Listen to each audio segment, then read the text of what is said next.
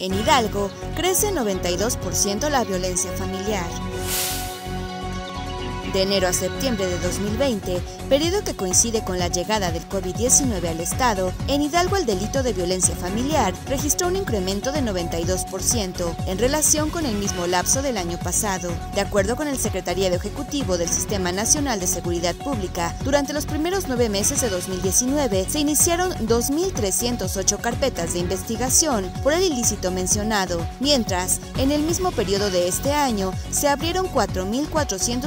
4.448 indagatorias, es decir, 2.140 más. Además, del primero al noveno mes de 2020, según el reporte, se sobrepasaron las denuncias ingresadas durante el año pasado por violencia familiar, ya que en los 12 meses de 2019 fueron interpuestos 3.027 procedimientos. En tanto, el 5 de noviembre Criterio informó que de enero a agosto de 2020 en Hidalgo se emitieron 727 órdenes de protección contra mujeres víctimas de violencia, lo que representa 143 garantías más de este tipo en comparación con las 584 realizadas en igual periodo de 2019. Lo anterior, de acuerdo con información de la Comisión Nacional para Prevenir y Erradicar la Violencia contra las Mujeres, organismo que refiere que durante 2018 únicamente se giraron 158 órdenes de protección en la entidad, lo que representa un incremento en las agresiones hacia las personas del sexo femenino durante los últimos dos años. El viernes pasado, el presidente de la Suprema De Justicia de la Nación, Arturo Saldívar, comentó que la pandemia por coronavirus exigirá el trabajo redoblado de los impartidores de justicia, toda vez que las agresiones en el núcleo parental se han exacerbado.